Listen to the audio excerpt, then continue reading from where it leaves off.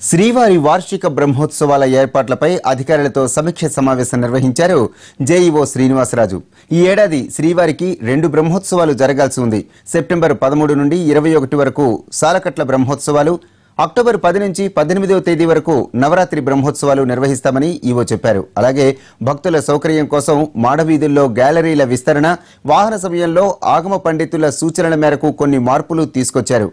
బ్రహ్మోత్సవాలు పురస్కరించుకుని జూలై పది నుంచి ఆగస్టు పది వరకు పుష్కరిణిలో మరమ్మతులు చేయనున్నారు. కొన్ని రోజుల పాటు పుష్కరిణిని మూసివేస్తున్నామని ఆలయ ఈవో తెలిపారు.